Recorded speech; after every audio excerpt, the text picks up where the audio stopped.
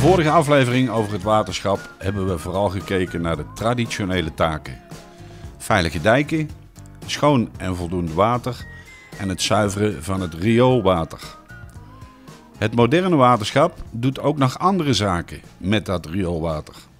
Uh, wat we vroeger deden was via bacteriën dat water schoonmaken. Het water lozen we op het oppervlaktewater, het schone water en het slip werd afgevoerd.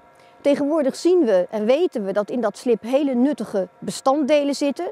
Dus we zien dat slip niet meer als een soort van afval waar we zo snel mogelijk van af moeten. We halen er eerst van alles uit. We vergisten dat slip namelijk. En dan kunnen we er heel veel energie uithalen, biogas.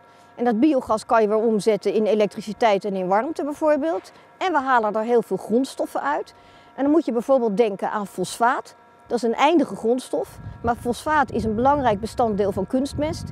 En we hebben fosfaat nodig om te zorgen dat onze planten, maar met name onze voedingsgewassen, groeien en bloeien. Dus wij zorgen dat dat fosfaat, het geldt ook voor andere grondstoffen, weer terugkomen in het hele systeem. Helemaal nieuw is nu de terugwinning. Uh, dus daar maken we echt uh, meststoffen ervan. En die zijn we nu aan het opstarten. En om dat even om te zetten in zakken kunstmest, dan moet je denken aan richting de 50.000 zakken kunstmest per jaar gaan we produceren hier op deze zuivering. Dan hou je over slip. Daar doen jullie tegenwoordig ook dingen mee? Ja, dat slip en samen met uh, het bestanddeel wat je al in de eerste stap er al uithaalt, dat zijn ook vaak heel vettige stromen en de makkelijk bezinkbare, samen met de bacteriën, dat komen samen in een vergistingstank en dan maken wij dan, of dan zetten we om in biogas, dus in energie. We wekken veel energie op en uh, wij zeggen wel eens poep en plas is het nieuwe goud. Want uh, we poepen en plassen natuurlijk met z'n allen 24 uur per dag. En als je bijvoorbeeld bij deze zuivering kijkt, dan krijgen wij per uur een hoeveelheid afvalwater binnen die je kunt vergelijken met 100.000 volle badkuipen. Nou, doe dat keer 24 en dat nog een keer keer 365. Nou, dan zul je, kun je zien en kun je begrijpen dat we daar ongelooflijk veel energie uit kunnen halen.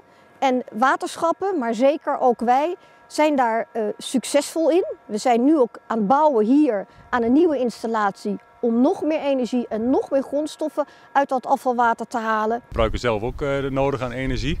Maar op deze zuivering uh, produceren we zoveel energie dat we netto energie over hebben en ook echt terugleveren aan het net. Nou, en dat betekent als je dan landelijk kijkt, dat het Rijk zegt, nou in 2023 hè, kunnen we misschien 16% van onze energie duurzaam opwekken. Wij zitten als waterschap, en zeker als waterschap van Leien en Veluwe, in 2020 al op 40%.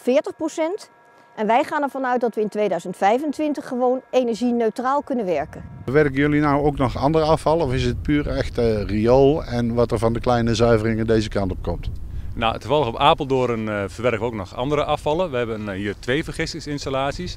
En om uh, nog meer energie, energie, te kunnen produceren hebben we een vergistingsinstallatie voor externe afvalstoffen. En wat moet ik me daarbij voorstellen? Dan moet je uh, voorstellen uh, dat het afvalwater, afvalwaterslip is van uh, slachterijen, van de voedingsmiddelenindustrie, dus met name hè, aardappelverwerkende industrie komt hier, vleesbewerkende industrie, het mag zelfs bloed in. Maar het is met name dus slipstromen waar gewoon heel veel energie in zit. De laatste investering zien we achter ons, het rood-witte gebouw. Daar, vindt, of daar staat de thermodrukhydrolyse.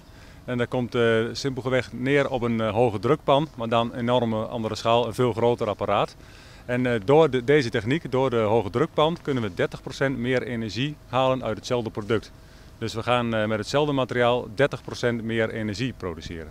Dat betekent dat we wat we hier niet nodig hebben, dat geven we eh, terug aan het net, dus de stroom terug aan het net. En met de warmte verwarmen we al een aantal jaren de wijk Zuidbroek in Apeldoorn. Wij leveren uh, onze warmte aan en natuurlijk. En, en natuurlijk, die verzorgt de levering van de warmte aan de woonwijk Zuidbroek. Op dit moment leveren wij 800 uh, eh, woningen de warmte. Dat is omgerekend in een gemiddelde woning. Dat, door deze nieuwe investering gaat dat naar 900 woningen. En doordat we dus die energie verkopen, betekent dat dat we de stijging van onze belastingtarieven kunnen temperen. Ze gaan niet omlaag, want we moeten aan al deze taken blijven werken als je in een delta woont. Maar de stijging wordt wel in de hand gehouden doordat we ook geld verdienen aan die energie en die grondstoffen. Als laatste, waarom, waarom moeten de Apeldoorners echt gaan stemmen op 18 maart? Omdat je met je stem de koers van het waterschap kunt bepalen. Je kunt bepalen wat het waterschap de komende jaren gaat doen. En als u nou wil weten welke partij welke plannen heeft die dichtst bij uw eigen mening staan, ga dan even naar de website www.kieskompas.nl. Kunt u precies zien welke partij het best bij uw eigen overtuiging past. Dus ga stemmen op 18 maart, waterschapsverkiezingen, voor een betaalbaar, veilig en duurzaam leven met water, ook in Apeldoorn.